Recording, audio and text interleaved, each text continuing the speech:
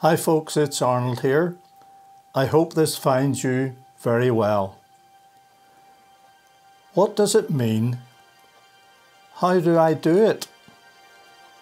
What do I say? What good does it do anyway? Will someone please help me?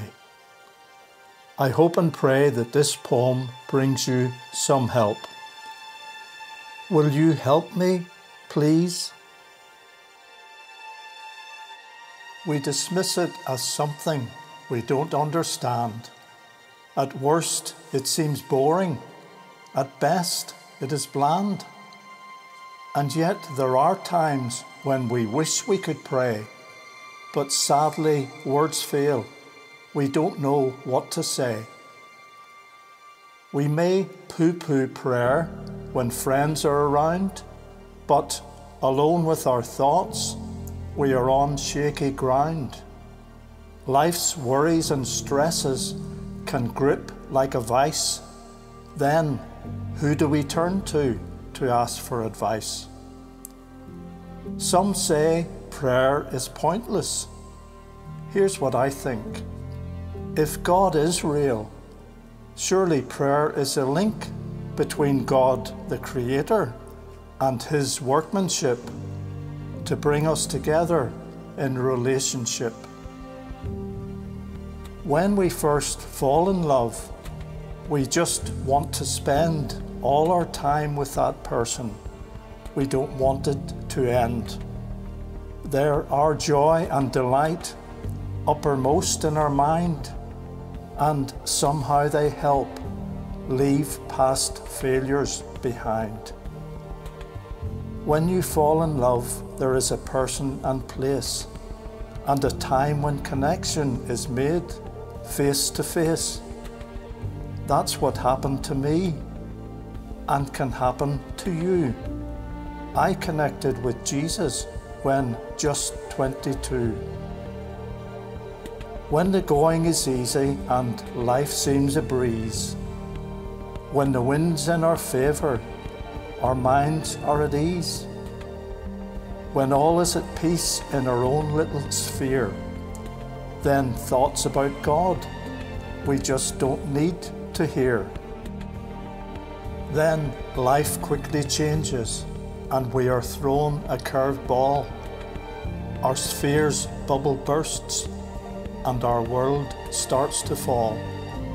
Now we're out of control and we struggle to stand, and the ground that seemed solid becomes sinking sand. We pray when in trouble or our loved ones unwell and hope God will hear us, but can't really tell. Our natural instinct is to seek higher power, and yet we pray only in our darkest hour.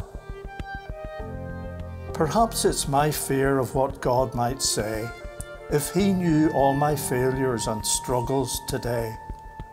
Yet, God our Creator knows us through and through, and despite all our faults, He still says, I love you.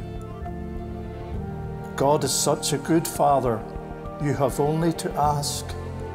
Jesus said, You'll receive no matter the task. He can do the impossible. God is omnipotent. And Jesus, his Son, is the proof he has sent. So, why am I writing this poem on prayer?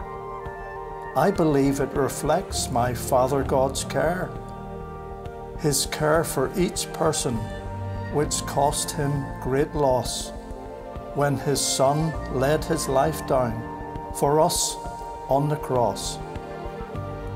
It is what Jesus did that has opened the way for flawed human beings to be rescued today. So let's make a start and pray on our knees. Lord Jesus, I am sorry. Will you help me, please?